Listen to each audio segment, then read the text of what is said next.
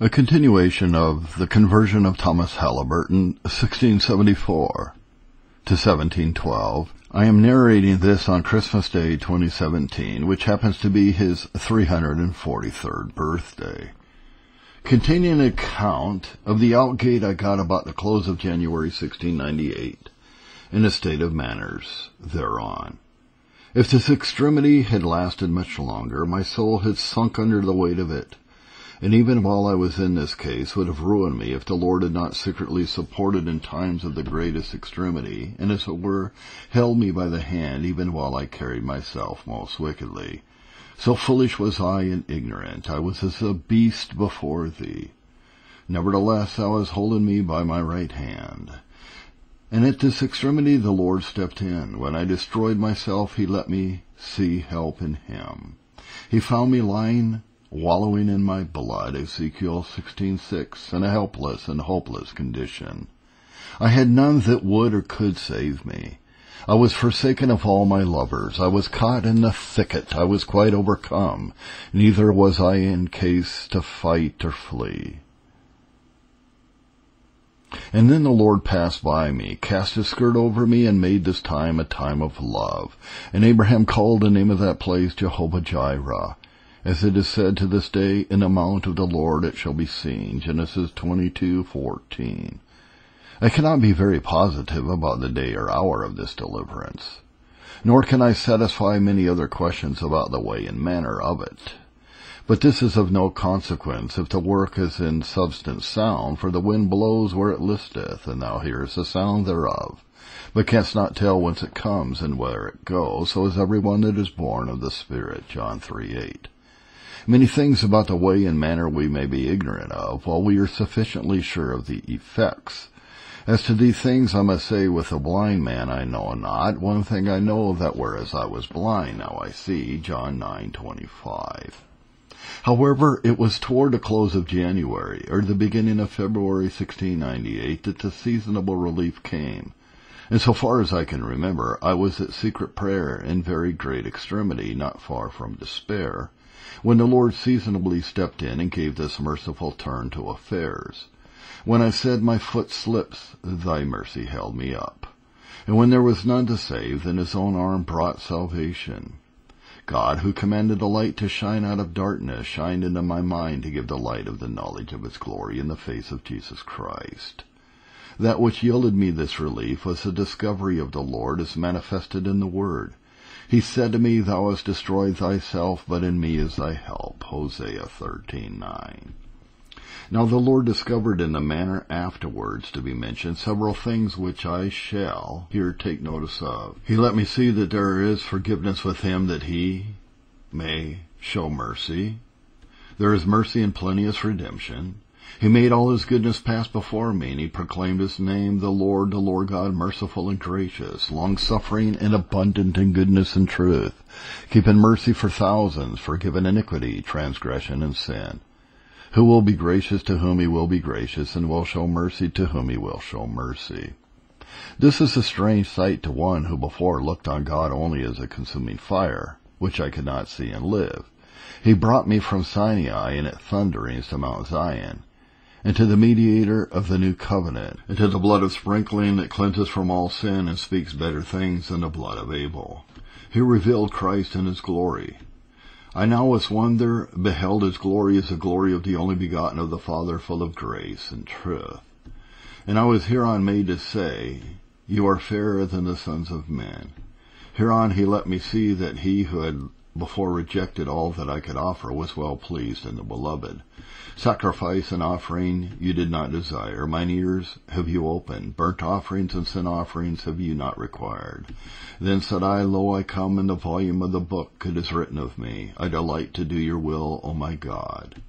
And hereby I was further fully satisfied that not only there was forgiveness of sins and justification by free grace, through the redemption that is in Jesus, whom God has set forth to be a propitiation through faith in his blood. But moreover, I saw with wonder and delight in some measure how God by this means might be just and justifying even the ungodly who believe in Jesus. How was I ravished with delight when made to see that the God in whom a little before I thought there was no hope for me, or any sinner in my case, if there were any such, notwithstanding his spotless purity, his deep hatred of sin, his inflexible justice and righteousness, and his untainted faithfulness, pledged in the threatening of the law, might not only pardon, but without prejudice to his justice or other attributes, be just and justifying even the ungodly. The reconciliation of those seemingly inconsistent attributes with one another and with the salvation of sinners quite surprised and astonished me. The Lord further opened the gospel to me and let me see that to me, even to me, was a word of this salvation sent.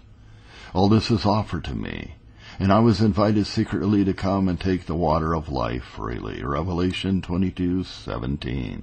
And to come in my distress unto this blessed rest. Come to me, all ye that are weary and heavy laden, and ye shall find rest for your souls. He, to my great satisfaction, gave me a pleasant discovery of his design in the whole, that it was that no flesh might glory in his sight, but that he who glories should have occasion only to glory in the Lord. The Lord revealed to my soul that full and suitable provision made in this way against the power of sin.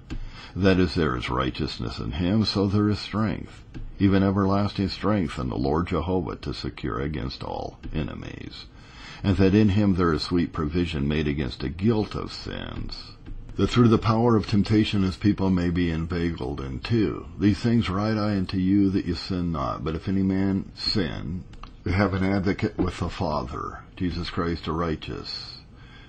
When this strange discovery was made of a relief in which full provision was made for all the concerns of God's glory, and my salvation and subordination to it, my soul was by a glorious and sweet power carried out to rest in it, is worthy of God in every way suitable and satisfying in my case. They that know his name will put their trust in him. All these discoveries were conveyed to me only by the word.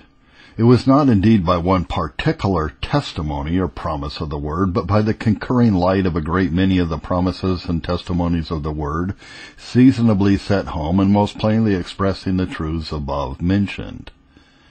The promises and truths of the Word in great abundance and variety were brought to remembrance, and the wonders contained in them were set before mine eyes in the light of the Word. He sent His Word and healed me.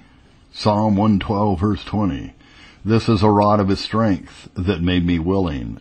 Psalm 110, 2 and 3. And it was a plain word of salvation that I found to be the power of God. Romans 1:16. I cannot positively say that the particular places above mentioned were the words in which these discoveries were conveyed to my soul, but by these or such like passages, and I believe by many even of those mentioned promises and truths, were the discoveries above named made to me. But it was not the word alone that conveyed the discovery, for most of the passages in which I was relieved I had formerly in my distresses read and thought upon, without finding any relief in them. But now the Lord shined into my mind by them, 2 Corinthians 4, 6. Formerly I was only acquainted with a letter which doesn't profit, but now the Lord's words were spirit and life. And in his light I saw light, God opening mine eyes to see wonders out of his law. Psalm 119:18. There was light in them, a burning light by them, shone into my mind to give me not merely some theoretical knowledge, but the light of the knowledge of the glory of God in the face of Jesus Christ. 2 Corinthians 4, 6. And many differences I found between the discoveries now made and the notions I formerly entertained of the same truths. It was true light, giving true manifestations of God, even the one true God and the one mediator between God and man, and given a true view of my state with respect to God, not according to the foolish conceits I had formerly entertained, but as they are represented in the Word. It was a pleasant and sweet light. Truly light is sweet, and a pleasant thing it is for the eyes to behold the sun. It had a heavenly satisfaction in God attending it. It led to a pleasure in the fountain whence it came. It was a distinct and clear light representing not only spiritual things, but manifesting them in their glory and in their comely order. 2 Corinthians 4, 6. It put all things in their due line of subordination to God and gave distinct and sweet views of their genuine tendency. Number five, it was a satisfying light. The soul rested in the discoveries it made and was satisfied. It could not doubt if it saw, or if the things were so, as it represented them. It was a quickening, refreshing, healing light. It was a powerful light. It dissipated that thick darkness that overspread my mind and made all those frightful temptations that had formerly disturbed me fly before it. When the Lord arose, his enemies were scattered and fled before his face. The first discernible effect of this discovery was an approbation of God's way of saving sinners by Jesus Christ to the praise of the glory of his grace, which I take to be the true scriptural notion of justifying faith for this not only answers the scripture descriptions of it, by receiving, coming to Him, looking to Him, trusting and believing in Him, but it really gives Him that glory that He designed by all His contrivance, the glory of His wisdom, grace, and mercy and truth. Now this discovery of the Lord's name brought me to trust in Him and glory only in the Lord. I found my soul fully satisfied in these discoveries as pointing out a way of relief altogether, and in all respects suitable to the need of a poor, guilty, self-condemned, self-destroyed sinner, beaten from all other reliefs, and who has his mouth stopped before God after he has spent all his substance to no purpose upon other physicians. In this I rested as a way full of peace, comfort, security, and satisfaction, is providing abundantly for all those ends I desire to have secured. And this approbation was not merely for a fit, but ever after in all temptations it discovered itself, by keeping me up in a fixed assent and adherence of mind to and persuasion of this truth, that God has given to us eternal life, and this life is only in His Son, when afterwards I was under temptation, solicited to go away and seek relief in other ways, it still kept me constant in a firm resolute rejection of all other ways of relief, and renunciation of all proposals that led to them, even when I found not the present comfort of this way. I ever held that that with Ephraim, what have I any more to do with idols? Chapter 4, containing an account of my strugglings with indwelling sin, its victories, the causes of them on my part, and God's goodness with respect to this trial.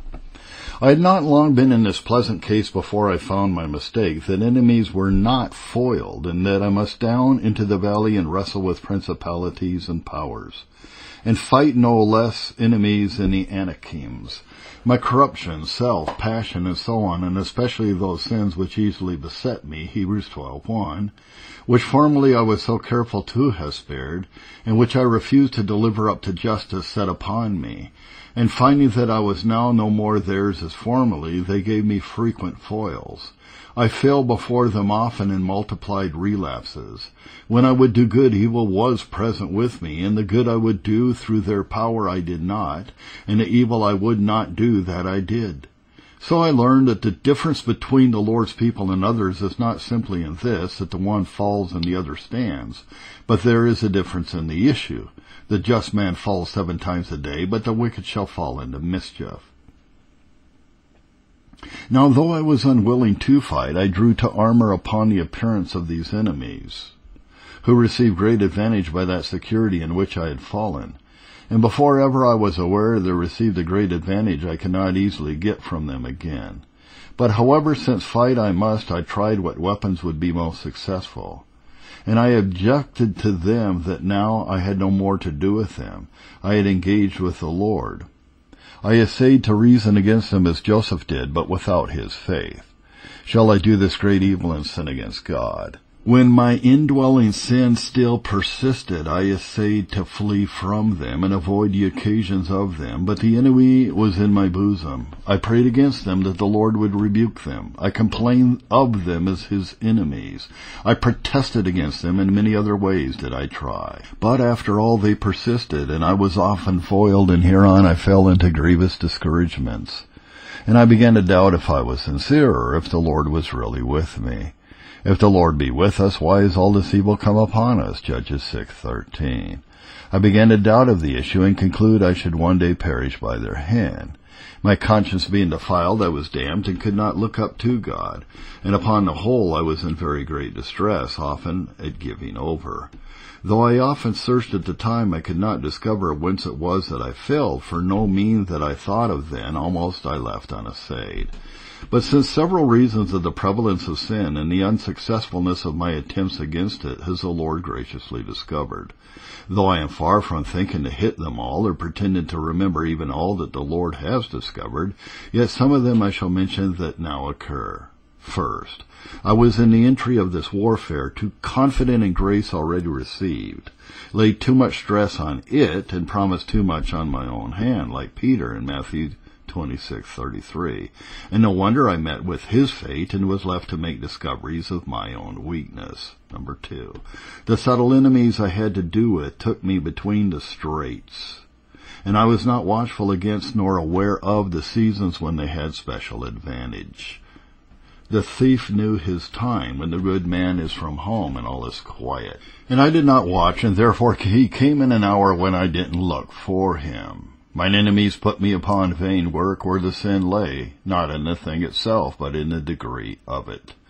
There my subtle enemies put me on to appear against and seek to eradicate what was really in itself lawful. Of this I had many instances with respect to passions and worldly employments and converse with sinful people. I didn't mind that if we were bound altogether up from converse with the idolaters, fornicators, and so on of this world, we must needs go out of the world. And as there was an anger to be avoided, so there was an anger that was allowable and even duty required that we should be angry, but so as to avoid sin. So Satan tempted me to provoke God by aiming at things which were neither given of God, nor had I any reason to expect them, and thus to tempt God by seeking stones to be made bread, or things not meet to be done. Like the Stoics, I was not content to have the passions kept in their own order, but would have them eradicated. So the devil drives to extremes, and when we fail of success, he takes thence occasion to discourage us. Again, number four. I still neglected some means of God's appointment under pretense of inconveniences and difficulties, and sometimes because irksome to the flesh, in which these were oft times the only proper means that were omitted, or at least a principle in that case. The omission of one thing ruins much, and our apologies and excuses will not do.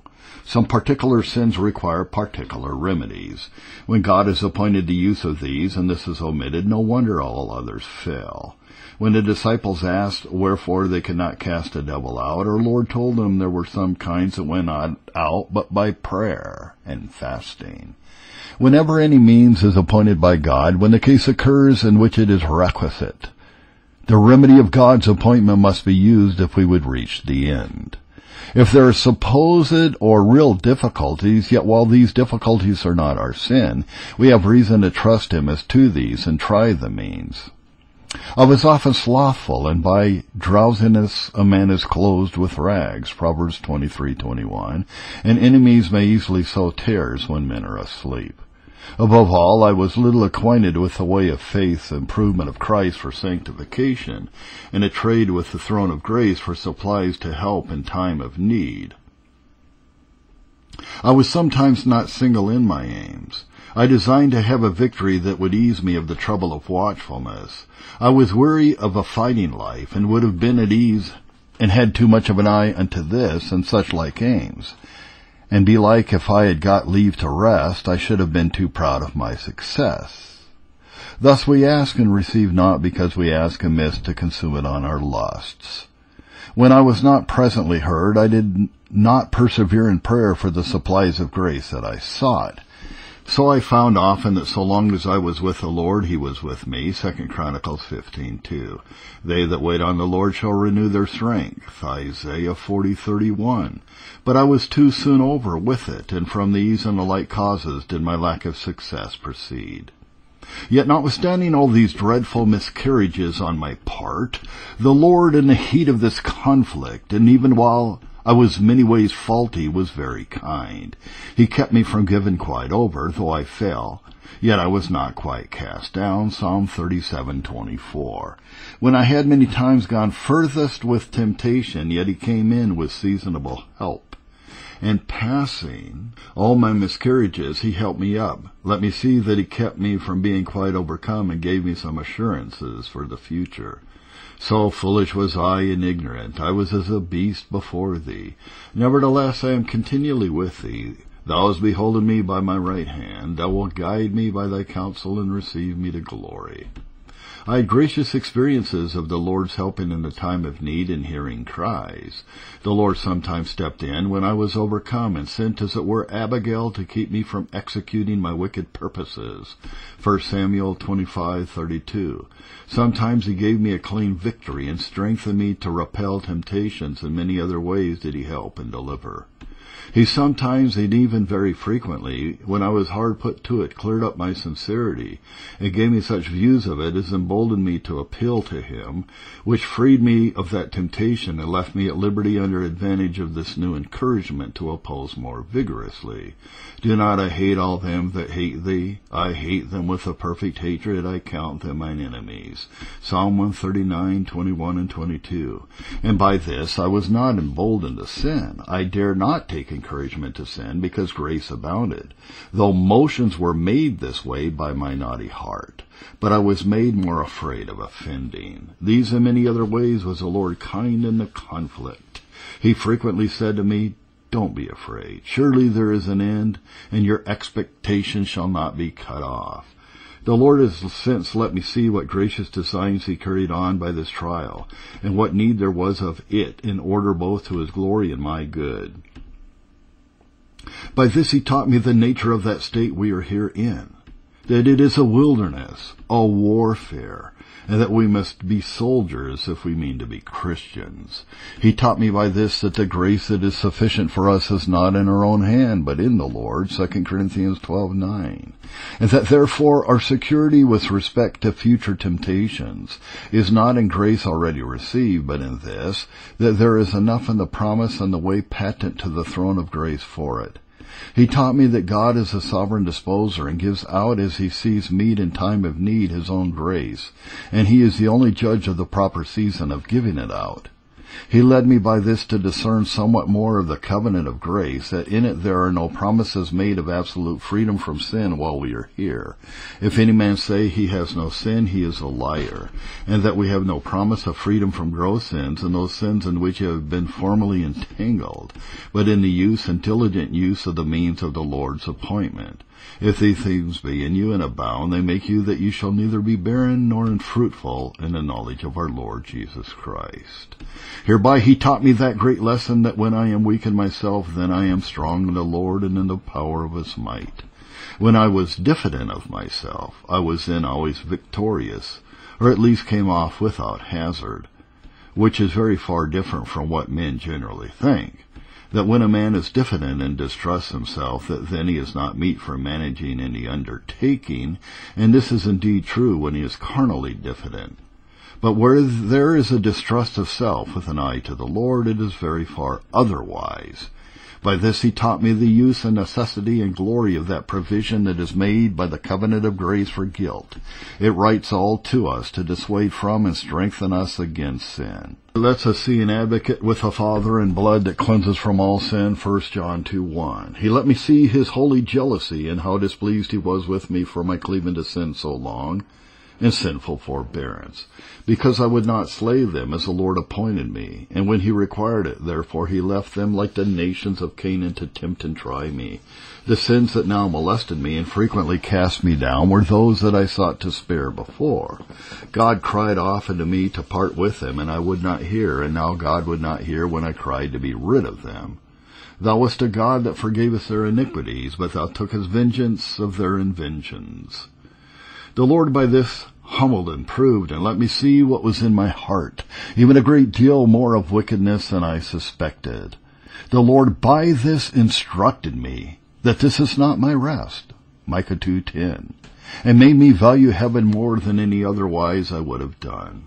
By this he discovered the riches and extent of that forgiveness that is with him, that it reaches to iniquity, transgression, and sin, that is, sins of all sorts, multiplied relapses not accepted. He that requires us to forgive to seventy times seven in a day will not do less. Yea, he tells us that in this respect his thoughts are as far above ours as the heavens are above the earth. And finally, the Lord by this fitted me to compassionate others who are tempted and comfort them.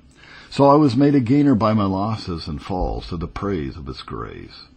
After some years struggling, the Lord made me lay by all prejudices against proper means, and wait on him in the use of them all, with some eye to him, and then he gave me in some measure of victory. Thanks be to God which giveth us the victory. 1 Corinthians 15, verse 57.